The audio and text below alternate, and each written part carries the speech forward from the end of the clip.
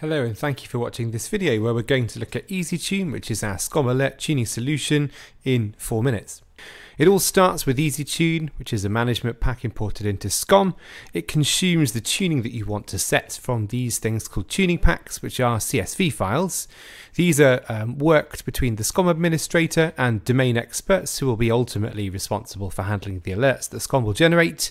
They can also be consumed from our community store, which is a GitHub hosted repository, which is contributed to by a community of experts with best practice. And the end result is override stored in SCOM in sensibly named management packs. Let's have a look at it in action. So here we are in EasyTune and here you see our community store, the tuning packs from it. The one I have selected right now is from uh, a guy called Stoyan who is a Microsoft MVP. He wrote this for us and we have some tuning set up from it. We're actually going to create a tuning pack from scratch here. We're going to create one for Windows Server 2016 we start by selecting the management packs we want to include, these two here. We give the tuning pack a name. We say where we want the tuning pack to be stored. When it's done, it's opened, which I'm not going to do right now. And here it is. So the first thing you see is there are two levels here, uh, discovery only and MP defaults that are uh, on all tuning packs and we can instantly tune from these and that's what we're going to do. We're going to tune globally now, so across all of SCOM. We're going to select the discovery only level which essentially turns off everything in the management packs in scope that are not discoveries. You can see what's going to be set here.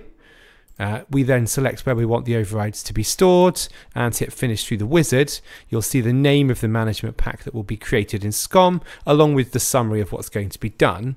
The summary here is stored on the management packs knowledge tab along with the date stamp and the user who actually set the tuning in place.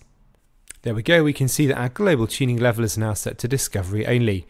Next we're going to open this tuning pack locally and we're going to do some things with this custom level. So this is the tuning pack. So firstly, we can see the management packs uh, that are in this tuning pack, the type of workflow that each of these lines represents, the workflow's ID, which I've hidden here, uh, the display name, uh, the description of the workflow, and what type of parameter it takes, and the default value that this management pack's workflow is set to. And then we have our custom column. We're going to put some values in here, which I'm going to paste in. You get the idea. You can essentially type um, whatever you like in here, as long as it's valid, as long as you put an integer into an integer, it will work. We're also going to give this level a custom name other than the word custom by changing the column name. And we're going to save this into SCOM.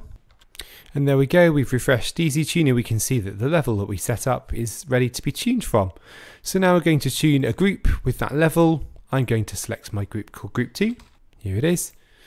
And we're going to select the level we just created you can see what we set in the tuning pack being read by EasyTune here. We are going to use a schedule for this one. So we're going to say we want this tuning in effect during business hours. We're going to select the default location and hit finish. Uh, again, you'll see what uh, what's stored on the management pack in the knowledge tab. And there we go, you can see that tuning is now in effect. You can do the same thing for tuning specific objects as well. Everything I've shown you so far is free. Um, we have videos that cover the functionality that's in our uh, Enterprise Edition, such as the ability to capture effective tuning um, that's in place, that I would thoroughly recommend you check out. Thank you for watching this video.